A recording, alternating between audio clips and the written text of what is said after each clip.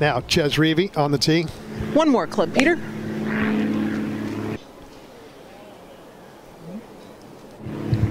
Chez's greatest strength is he really doesn't have any weaknesses.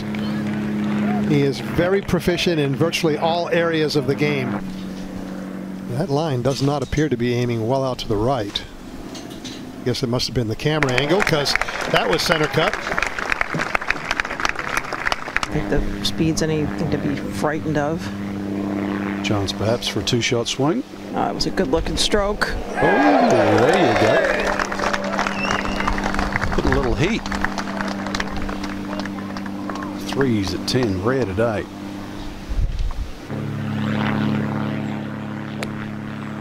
Setting up just a little left.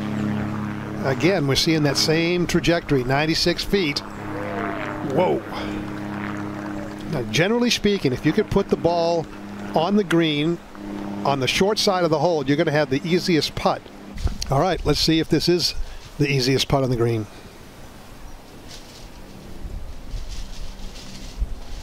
Evidently. That's a different ball game, Peter Kostis. Yep. It's uh, it's amazing how quickly things can change out here. As Caddy said, he's been good about taking his medicine the last month or two. This is a good opportunity to do just that. Better than that. Fantastic. I want some of that medicine, Dottie. Yeah, no kidding. With a refill. what a shot there, Jimmy. Mindset just changed for a lot of people. Mm-hmm. And there's your new leader. A little bit back into the wind. It will go pretty hard left to right on the ground.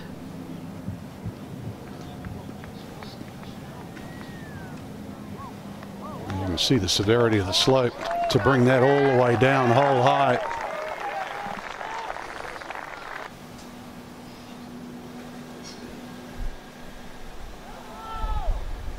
Yeah, it's a good up and down from where he was. Keeps his record out of the bunkers intact for the week. Perfect, three for three, and four in a row. And playing some solid golf. You see they're 12th right now in the FedEx Cup.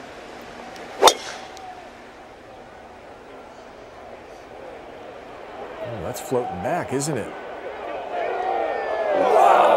Oh, man, that was a couple of yards from being perfect.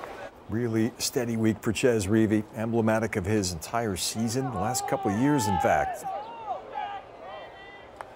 And that one left for Birdie to pad the lead here. A six footer for Reavie to extend the lead here. Solid right there for Chez. Four shot lead now, 14 under par. It's a lot when you say that's the best you've ever struck it. Thank you so much, Jason Day. Back out to you, Jim.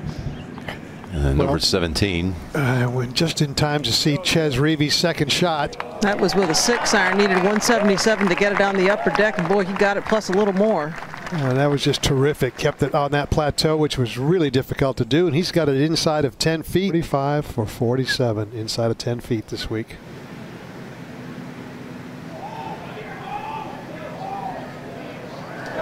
Make that a 46 out of 48. And another birdie for Chez Reavie. He gets to 15 under par. Meanwhile, on the tee, makes par. It's 29 coming in. Makes birdie. He ties the back nine record of 28. It's been shot three times.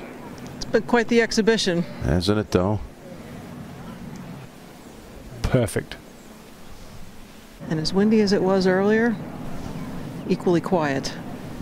And a great angle, Dottie. That Beautiful angle, yes. Looks like it's right down the stack.